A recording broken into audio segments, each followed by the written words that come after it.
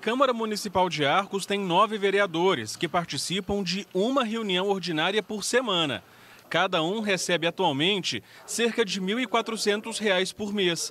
Mas a partir da próxima legislatura, o salário dos parlamentares passa para R$ 5.740.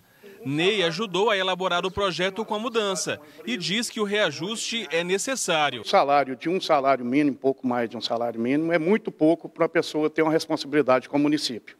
Então, nós reunimos, conversamos e chegamos a uma conclusão que esse salário não, não traz prejuízo para o município.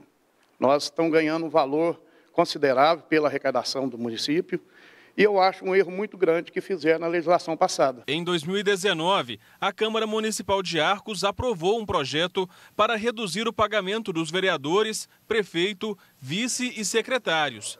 Na época, os parlamentares ganhavam pouco mais de R$ 6.100 o valor caiu para um salário mínimo. A maioria das pessoas vive de um salário e dentro desse salário eles sobrevivem com filhos, dando a educação, dando cultura. Então, por que nós também não reduzimos isso e igualar dentro de uma proposta mais equilibrada? A mudança nos valores durou apenas um mandato.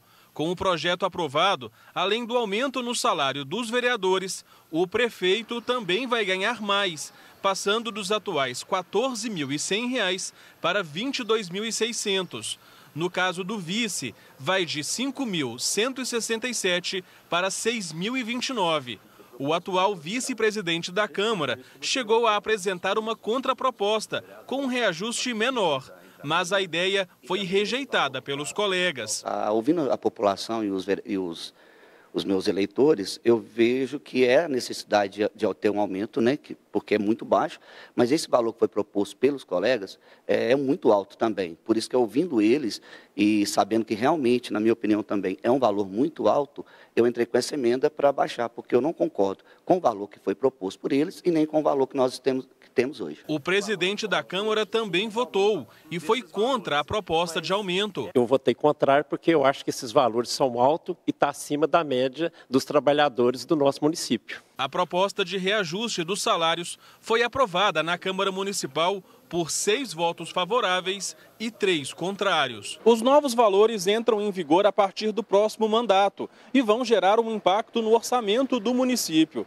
considerando o reajuste para os vereadores, prefeito e vice em quatro anos. O gasto a mais vai ser de quase 3 milhões de reais. O projeto aprovado também prevê o pagamento de 13º salário e férias para os vereadores, o que não acontece até então. Eu acho que nós somos um cidadão comum, como toda a população, e nós também temos as nossas despesas. Então, eu acho que nós tínhamos que receber férias e 13 terceiro como uma pessoa que trabalha em qualquer empresa. A mudança desagradou muita gente. Aí eu acho que o salário deles, do jeito que está, eu acho que está bom demais, porque eles não fazem nada na cidade, né? Eles não olham os bairros, não olham a cidade.